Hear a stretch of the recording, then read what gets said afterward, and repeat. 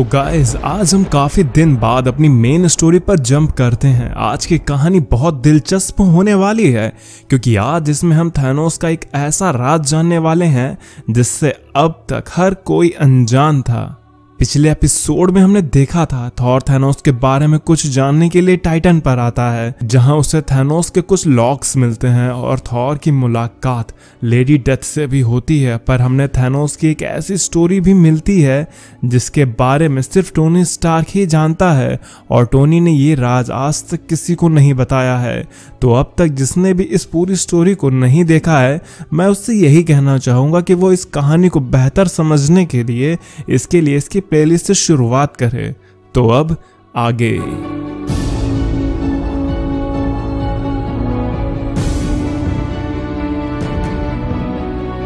Tower of death आज Thanos की उसके लव डेथ ने याद किया है।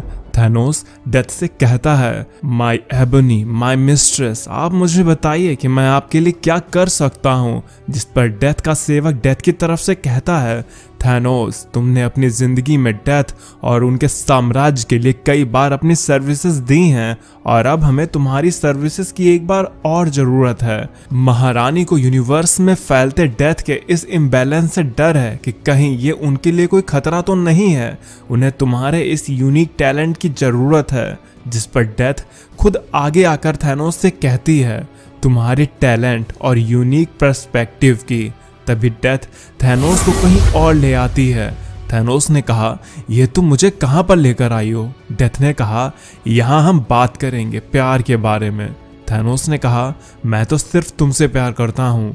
डेथ ने कहा यह तो अब की बात है ना, लेकिन आज आज कभी आज नहीं था, है ना थैनोस? तभी थैनोस को एक जानी पहचानी आवाज़ आती है। उसके सामने सरेला थी, ये लड़की कौन है? वो तो हमें आगे चलकर ही पता चलेगा। थैनोस डेथ से कहता है, तुम उसे यहाँ पर लेकर क्यों आई हो? डेथ ने कहा, यह यहाँ पर हकीकत में नहीं है। ये तो उसकी सोल का बस एक छोटा सा हिस्सा भर है, एक एको है। थैनोस ने कहा, पर क्यों?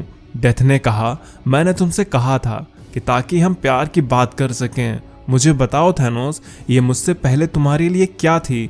ये तुम्हारे लिए क्या मायने रखती थी? थैनोस ने कहा यह बात तुम बहुत अच्छे से जानती हो। जिस पर डेथ ने कहा, मेरे पास जो कोई भी मरकर आता है, उसके सब सीक्रेट्स मेरे पास होते ही हैं। पर मैं तुमसे मैं तुमसे जानना चाहती हूँ, थैनोस, कि ये तुम्हारे लिए क्या मायने रखती थी? जिस पर थैनोस, लेडी डेथ को अपनी वो कहानी बताता है, जो उसके सीने में ना जाने कब से दबी हुई थी। एक वक्त था, जब टाइटन पर खुशहाली थी। टाइटन संपन्न था, पर वहाँ एक दिक्कत थी।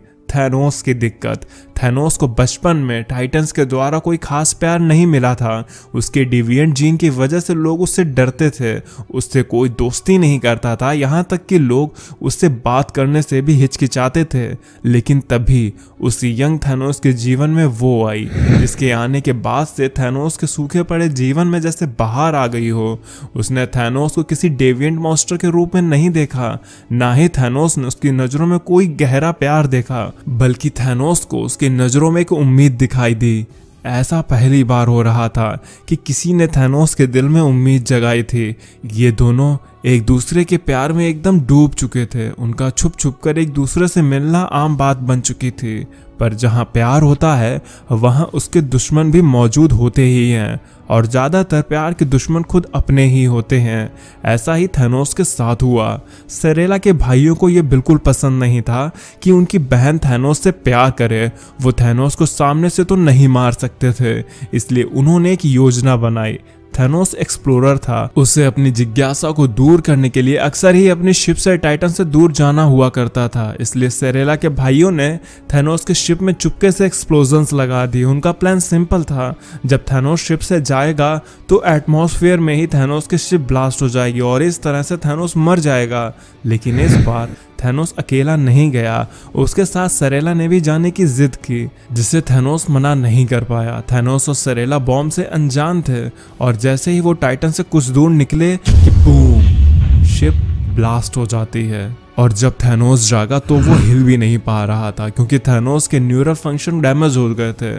थैनोस की हालत अच्छी नहीं थी, पर थैनोस के लिए राहत की बात एक थी कि सरेला को कुछ भी नहीं हुआ था। सरेला ने थैनोस को लाइफ सपोर्ट देते हुए कहा कि मुझे तुम्हारी बात मान लेनी चाहिए थी थैनोस, और मुझे घर पर ही रुक जाना चाहिए था। लेकिन इस समय यूनिवर्स में ऐसी कोई जगह, कोई चीज़ नहीं है जो मुझे तुम्हारी साइड में ना जाने से रोक सके, क्योंकि इस समय मेरे पास यूनिवर्स की सबसे रेयर चीज़ में से एक है।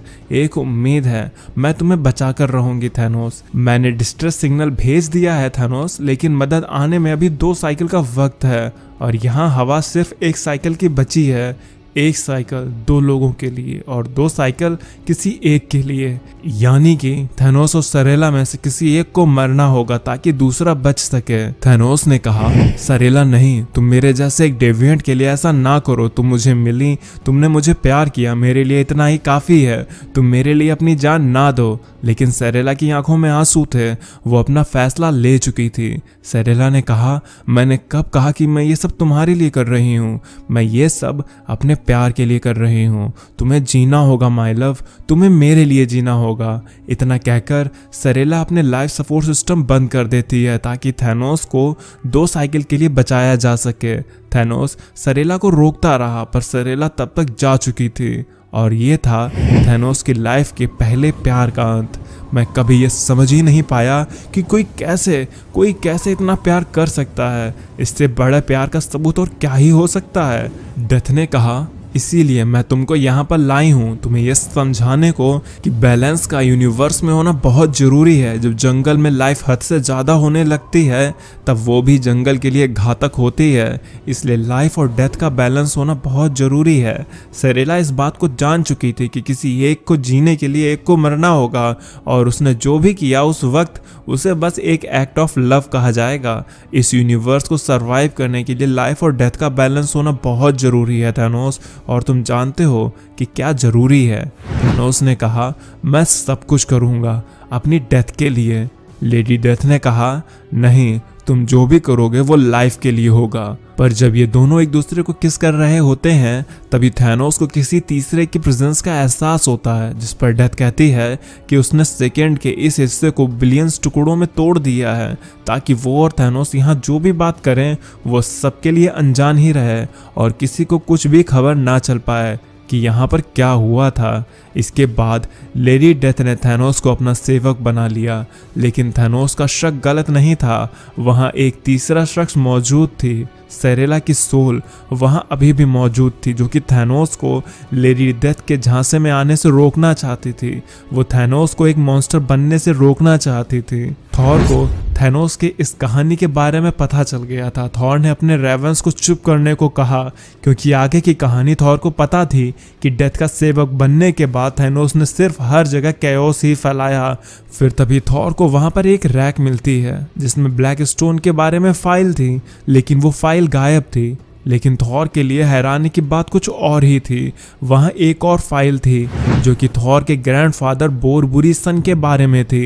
ह्यूगिन ने कहा, यहाँ तुम आए तो थे अपने जवाब को पाने के लिए, लेकिन तुम्हारे सामने तो और भी सवाल आ चुके हैं। थॉर ने ओडन से पूछा कि बोर की फ़ाइल यहाँ पर क्या कर रही है, जिस पर ओडन ने कहा कि उसे अपने पिता के बारे में ऐसा कुछ भी नहीं पता, क्योंकि बोर के बहुत से सीक्रेट्स थे, जो कि उनके साथ ही दफन हो गए। यानी कि कुछ तो था, जो कि एसगार्ड के पुराने राजा से जुड़ा हुआ था।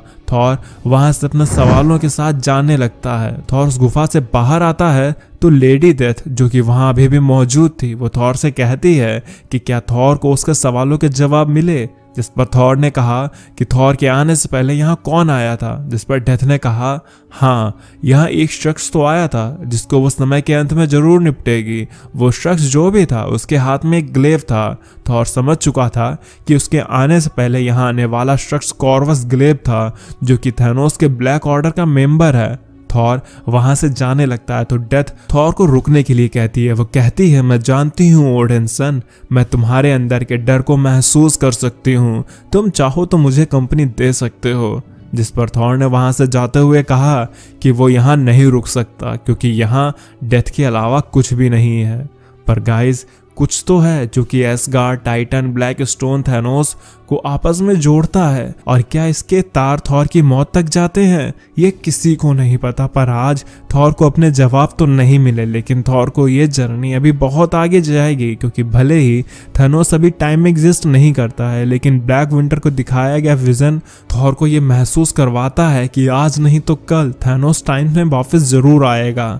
आप सब में से कई लोग ये नहीं जानते होंगे कि कॉमिक्स में भी थैनोस टाइम स्ट्रीम से इरेज हो चुका है। थैनोस के साथ ऐसा कैसे हुआ? अगर आपको वो कहानी जाननी है तो कमेंट में ज़रूर बताना। मैं उस कॉमिक बुक को भी आप लोगों के लिए अपलोड कर दूँगा। तो अगर आपको ये वीडियो पसंद आई हो तो इसे लाइक कर देना। चैनल पर नए हो तो सब्सक्राइब कर देना। अब मैं चलता हूँ। आप मेरी बाकी की वीडियोज़ इन्जॉय करें और खुश रहें।